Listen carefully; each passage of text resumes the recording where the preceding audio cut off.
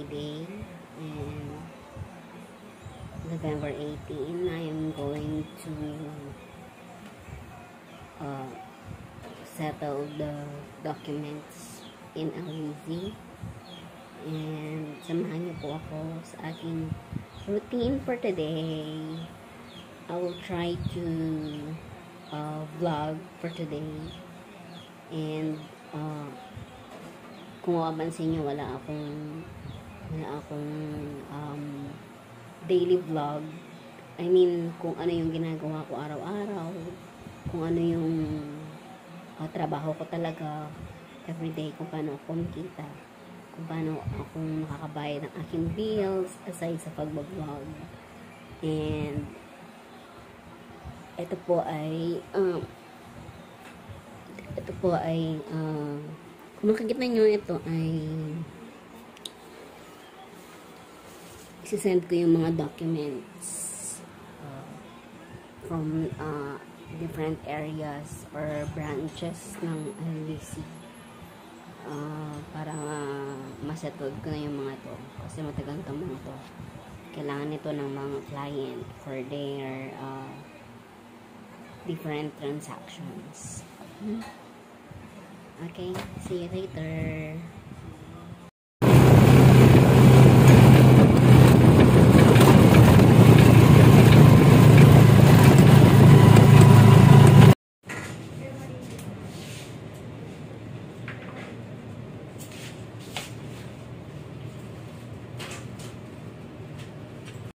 Hello guys, welcome back.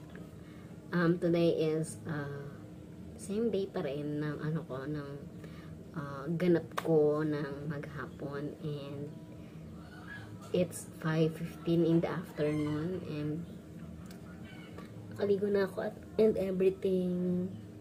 Nagawa ko na yung mga dapat kong gawin. At at saka wala, guys ako ng mga mga resibo resibo from from LBC and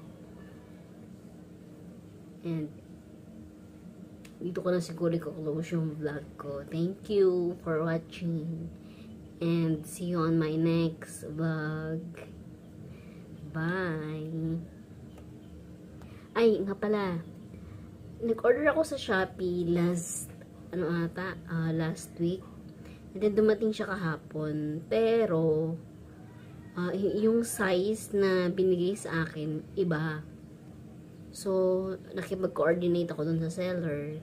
Sabi ko, um, mali yung size na napunta sa akin.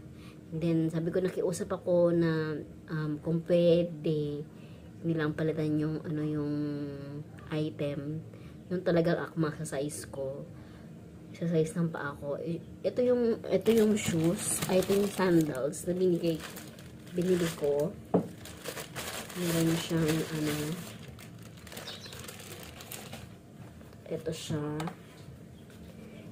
Kung gusto niyo, kung gusto niyo bumili sa, ano, sa Lazada, i, is, uh, is, if, if, ano ko yung, uh, yung, kanilang uh, store dyan sa screen. Maganda siya, ha, kaso hindi ko malaki siya sa akin. Super laki.